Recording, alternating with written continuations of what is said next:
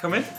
Jeg tænker lige, at vi starter øh, den her lille vlog ud med en øh, lille roomtour af vores, øh, kan man kalde det, hotelværelse. Det kan man. Kan man godt det? Vores lækre sofa area, som vi overhovedet ikke bruger til noget som helst andet end at lægge nogle øh, Skrammet.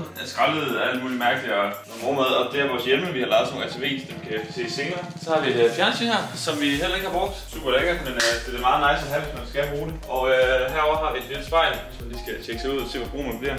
Og min kuffert ligger lige dernede. Herover er vores skrivebord, som vi heller ikke bruger til ret meget andet end at lægge ting på. Og, øh, Laver du ikke lektier her? og sådan noget. Jo, jeg laver vildt mange lektier her. Og her er vores seng. Sindssygt nice. Her ligger mig en overfra. I ske. Åh, oh, shit. Hvor hurtigt jeg troede. Spørgsmålet er, kan man hoppe i den? Ja, det kan man. Og det må man.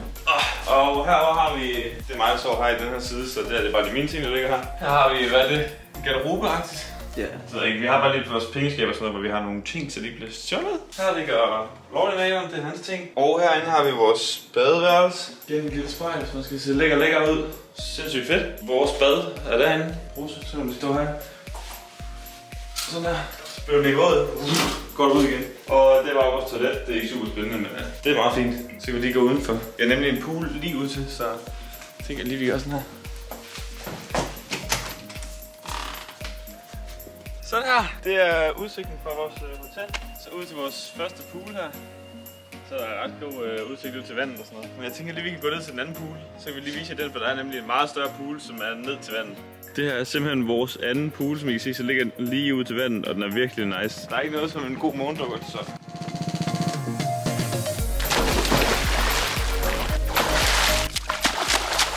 Jeg tænker bare lige, at vi skal få os noget morgenmad, så øh, vi ses op på vores ATV'er. Så er vi ankommet op til vores ATV'er. Vi har simpelthen lejet sådan to svin her i går. De er kæmpe store, men de er virkelig sjove at køre på. På Mykonos er der mange steder, sådan, man skal køre rundt efter ting. Der er lidt distance til det hele, så vi skal egentlig bare ud og finde os noget morgenmad. Det er sådan cirka 5-10 minutter væk herfra. Det er jo vigtigt, at man lige får hjelmen på, sådan til safety first. Så er vi klar.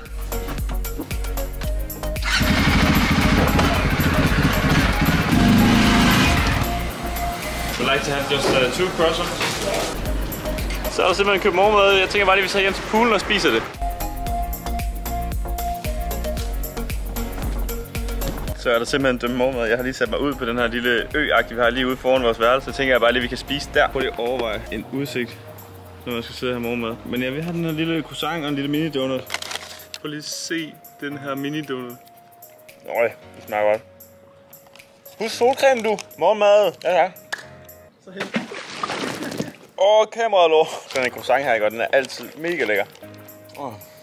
Jeg ved godt, man øh, skal vente 30 minutter med at hoppe i vandet, når man har spist, som de siger, men altså, når den er så tæt på, så kan jeg vist ikke lade være. Så ja. Ses ude på det dybe. De er rigtig filmtræk, og klar, den kommer her.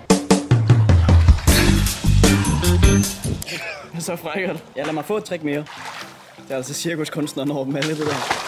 Vi skal hen til noget, der hedder sommer, eller su vi skal hen til noget, der hedder Super Paradise Beach nu. Der kan man nemlig både køre sådan en vandscooter, og, eller ikke køre vandscooter, men sejle vandscooter og alle mulige ting. Så der tager vi hen nu. Der er cirka en halv time eller sådan noget på de her øh, ATV'er, vi har. Og så tænker jeg bare, at vi se, om vi kan lave en masse grinerende ting derhen. Jeg vil i hvert fald gerne ud på vandski. Let's go.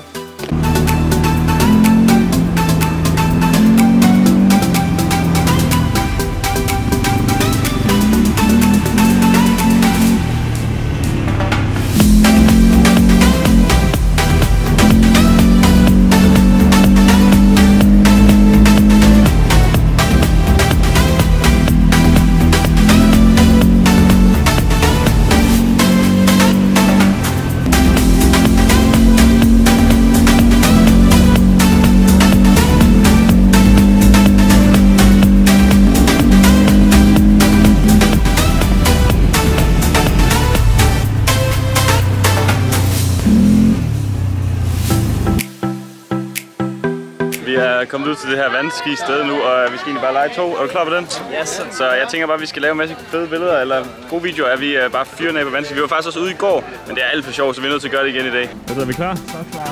Vi har fået vores veste på, og vi skal bare ud nu.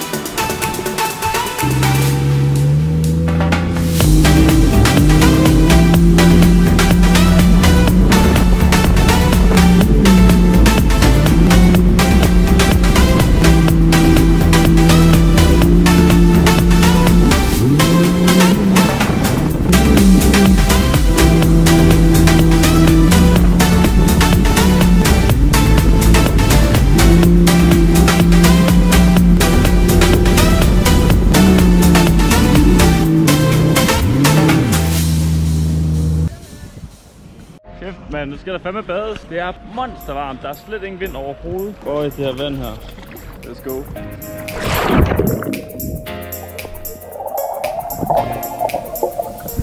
Vi er ude og sejle vandski og badet lidt, og øh, klokken er ved at være... Det ved jeg ikke. Jeg har ingen idé om, hvad klokken er. Hvad er klokken? Øh, den er 8 minutter i 2. Så ja, klokken er 8 minutter i to, og ja, ja, vi skal have fundet os noget frokost. Vi er virkelig sultne, så jeg tænker bare, at vi hopper på vores motocrosser igen, og øh, se om vi kan finde et eller andet lækkert med. Og jeg får lige at vide i øh, bagspejlet, at det var jetski og ikke vandski, jeg sejlede, så...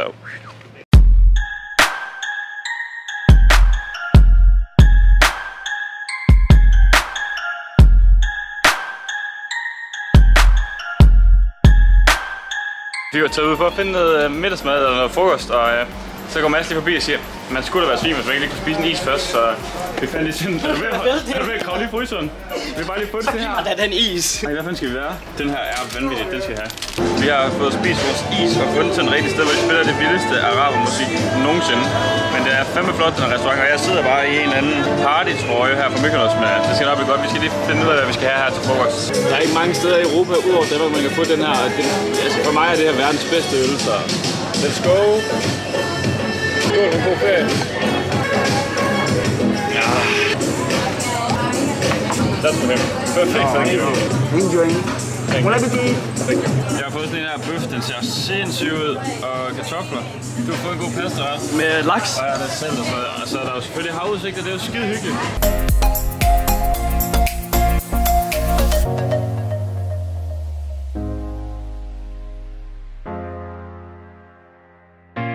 Vi har fået spist noget frokost, og har egentlig bare tænkt os at tage tilbage til hotellet nu, Det ligger nede ved poolen, indtil vi skal have den lækker, der drikker, så skal vi nok videre i byen i aften. Solen er godt nok skarp lige nu, men altså, der er næsten ingen mennesker lige nu. Jeg ved ikke, hvad folk laver. Der er der okay mange ellers, men uh, det er sgu meget hyggeligt. Vi har en vanvittig pool. Der er så sindssygt udsigt, altså.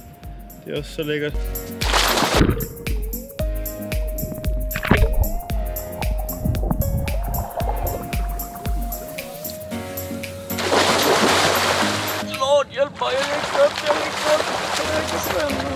Jeg glemmer altid de her access card, de her adgangskort til vores øh, hotelværelse.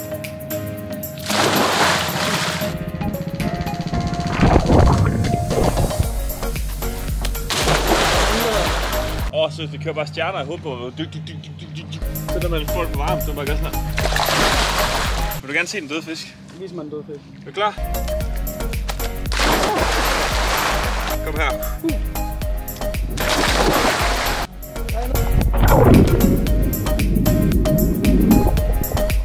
Vi har lige gjort os klar, vi har begge to lige taget et bad, og vi skal egentlig bare ind til byen nu her og finde noget mad, og så skal vi have en masse godt at drikke, og så bare have en mega grinerende aften. Vi skal også op lige først aflevere vores ATV'er. Skal vi sige farvel til dem her nu?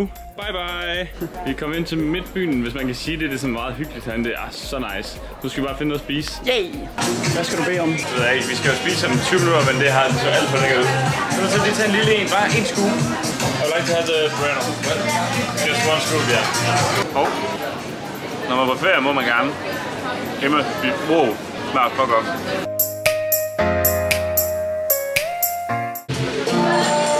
Skål. Skål, min dreng. Og en god ferie. Lækker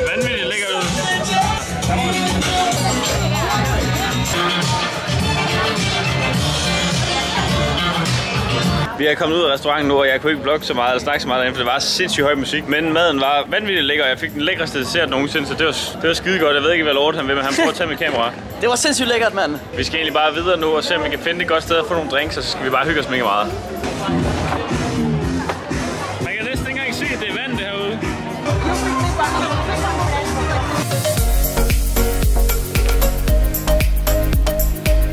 Vi er kommet hjem ind fra byen af nu og har fået noget lækker mad og fik lidt drinks og sådan noget. Det var super hyggeligt. Og ja, så er vi egentlig tilbage til poolen. Prøv lige at overveje, hvor lækker den er. Så vi skal egentlig bare lige hygge her lidt og bade lidt. Det gør vi altid om aftenen, så det er skide hyggeligt.